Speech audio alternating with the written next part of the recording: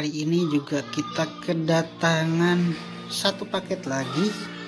Itu isinya kemarin kita beli peralatan untuk bayi ya untuk seperti biasa kita akan siapkan cutter dan gunting ya untuk unboxing paket ini. Kelengkapannya itu ada Tuh, tisu kita di mana itu tuh? ya, tisu ya. dan lain-lain. Ini belinya dari Clody Store Official Shop ya, Depok. Dia sudah berlangganan sih toko ini terpercaya.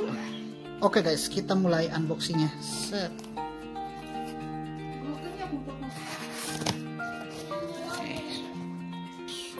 Mantap. Sip. Sesuai pesanan. Ini baby cream, tisu basah dan tisu kering. Terima kasih Clody Store.